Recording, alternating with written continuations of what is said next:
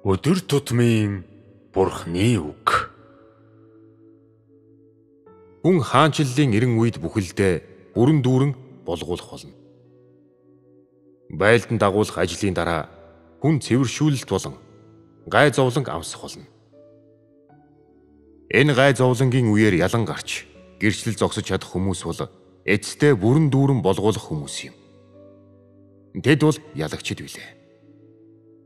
Энэ гай зовлонгийн үеэр хүн энэ цэвэршүүлэлтийг хүлээн зөвшөөрөх шаардлагатай бөгөөд энэ цэвэршүүлэлт нь Бурхны ажлын сүүлийн тохиолдол байна. Бурхны бүх удирдлагын ажил дуусгар болохын өмнө хүн сүүлийн удаа цэвэршүүлэгдэх ба Бурхныг дагдаг бүх хүмүүс энэхүү сүүлчийн туршилтыг энэ сүүлчийн цэвэршүүлэлтийг хүлээн зөвшөөрөх ёстой. Гай зовлонд баригдсан хүмүүс ариун сүнсний ажилгүй Бурхны өдөрдмжгүй байдаг боловч үнэхээр байлдан дагуулгдсан. Бурхныг үнэхээр ирж хайдаг хүмүүс эцэстээ бат зогсох болно. Тэд бол хүн чанарыг эзэмссэн агаад Бурхныг үнэхээр хайрладаг хүмүүс юм. Бурхан юу ч хийдэг бай. Энэ ялагчд үзэгдлэр дутагдахгүй бөгөөд гэрчлэлдээ бүтлгүүтэхгүйгээр үннийг хэрэгжүүлсээр байх болно. Тэд бол эцэстээ үлэмж гай зовлонгоос гарч ирэх хүмүүс юм. Үүмэн самууныг өөрсдийнхөө төлөө ашигладаг хүмүүс өнөөдөр бусдын хүчээр хоолоо олж идсээр байх ч эцсийн гай зовлон эцсийн туршилтаас нэгэн ч зүгтж чадахгүй. Ялах хүмүүсийн хувьд тийм гай зовлон нь асар их цэвэршүүлэлт юм. Харин үүмэн самууныг өөрсдийнхөө төлөө ашигладаг хүмүүсийн хувьд энэ нь бүрэн таягдах ажил юм. Тэд хэрхэн шалгагдсан байх нь хамаагүй. Зүрх сэтгэлд нь бурхан байдаг хүмүүсийн үнэнч байдал өөрчлөгдөхгүй хэвээр үлдэнэ. Харин зүрх сэтгэлд нь бурхан байдгүй хүмүүсийн хувьд бурханы ажил тэдний махан биед ашиггүй болмогц. Тэд бурханыг үзэх үзлээ өөрчилж бурханаас салж оддог. Ийм хүмүүс бол эцэстээ бат зогсохгүй Бурхны ёроолыг зөвхөн хайдаг. Өөрсдийгөө Бурхны төлөө зарц суулж зориулах хүсэлгүй хүмүүс юм. Ийм төрлийн олиггүй хүмүүс Бурхны ажил дуусгар болох үед бүгд хөөгдөх ба өрөвдүүлэх үн цэнэгүй. Хүн чанаргүй хүмүүс Бурхныг үнэхээр хайрлах чадваргүй. Орчин нөхцөл нь амар тайван, аюулгүй эсвэл ашигтай байгаа үед тэд бурханд бүрэн дуулууртай байдаг боловч хүссэн зүйлээ алдвал эсвэл эцтэй ницаагдвал тэр даруй бослог гаргадаг. Ердөө нэгхэн шүний хооронд тэд инээмсэглсэн. Сайхан сэтгэлтэй хүн байснаа муухай царайтай хэрцгий алуурчин болж өчигдрийн өглөгийн эзэнтэйгээ ямар ч шалтак шалтгаангүйгээр гинт мөнхийн дайсан мэт харьцдаг. Хэрвээ эдгээр чөтгөрийг буюу нүд савчхын төдийд хөнөөж чадах чөтгөрүүдийг хөөхгүй бол тэд цаашдын зовлонгийн их сурвалж болохгүй гэж юу. Хүнийг аврах ажил байлдан дагуулах ажлыг дуусгасны дараагаар биелэгдэхгүй. Байлдан дагуулах ажил хэдий дууссан ч хүнийг ариусгах ажил дуусаагүй.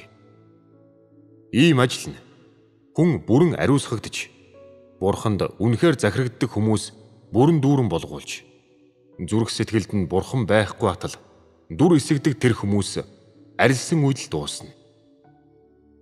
Бурхны ажлын сүүлийн үе шатанд түүнийг сэтгэл хангалуун болгоогүй хүмүүс бүрэн таягдан хаягдах ба таягдан хаягдсан хүмүүс нь чөтгөрөх юм. Бурхны сэтгэлийг хангалуун байлгах чадваргүй хүмүүс бол Бурхны эсрэг тэрсэлдэг бөгөөд хэдий тэд өнөөдөр Бурхныг дагдаг ч гэсэн тэд бол эцэстээ үлдэх хүмүүс гэдгийг Энэ нь баталдаггүй.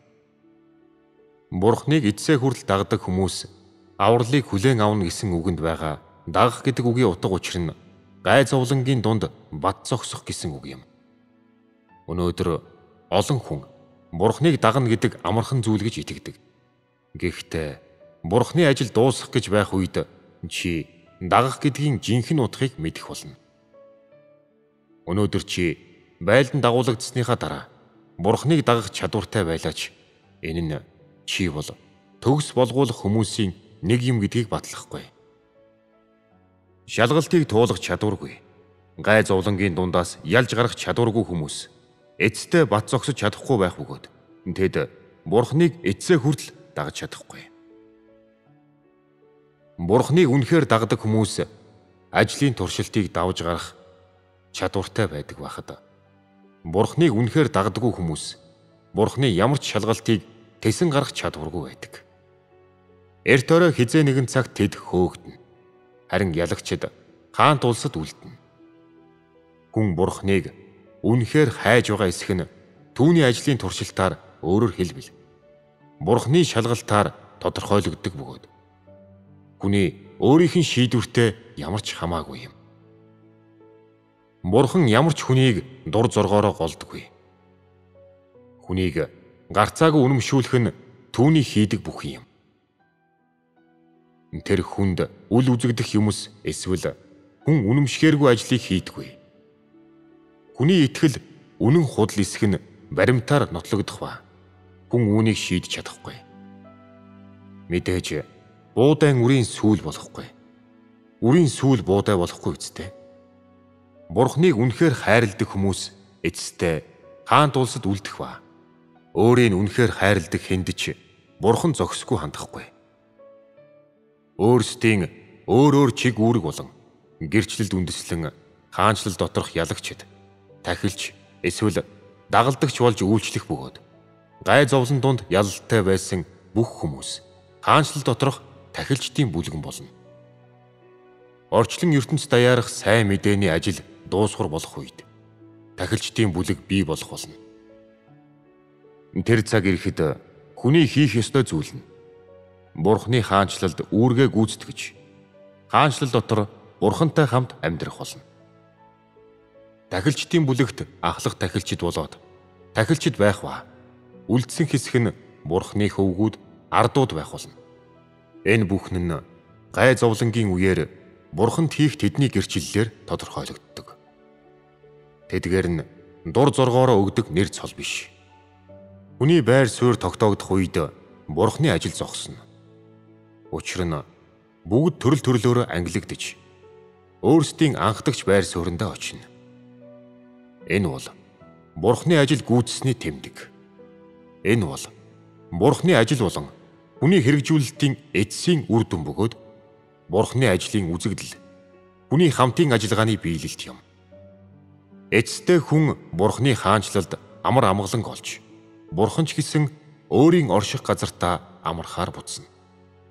Энэ бол Бурхан хүн хоёрын 6000 жилийн хамтын ажиллагааны эцсийн үр дүн билээ.